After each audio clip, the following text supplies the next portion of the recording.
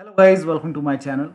Today in this video I'm going to show you how to fix when you are unable to install this update that is KB5017380 or if you are unable to install KB5017858. So if you are unable to install these two updates on your Windows 10 computer then please follow the steps shown in this video. Now the first step is to run update troubleshooter.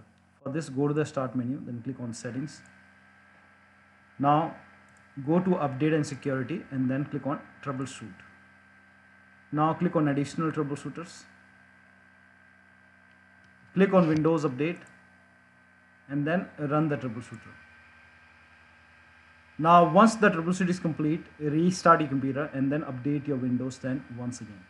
Now still you are unable to update then use windows 10 update assistant. For this copy this link. The link is provided in the video description open this link in a browser. It will take you to Microsoft website. Here you can see Windows 10 update assistant. Click on update now.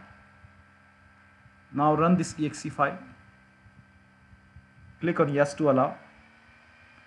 Now this will load Windows 10 update assistant. If there is any update you will see the install option to install your update.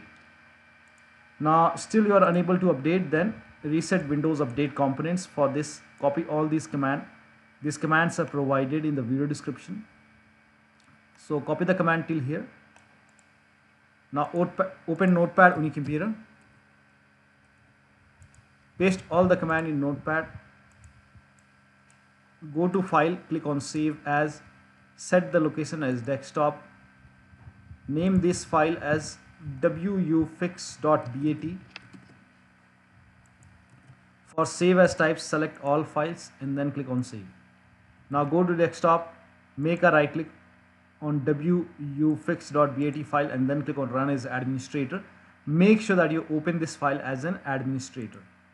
Click on yes to allow. This will open command prompt. First of all, it, it will stop all the Windows update services and then it will run some scans. Now there are a couple of scans, so the scan will take some time. Now once the scan is complete, once all the scans are complete, it will restart all the Windows update services. So let the scan complete and it will start Windows update services.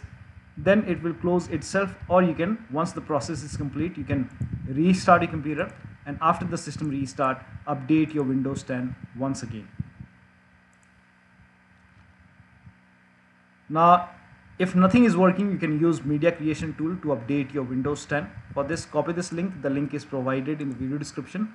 It will take you to the same website. Here you can see media creation tool. Click on download now and then run this exe file and then you will see the screen. Click on accept.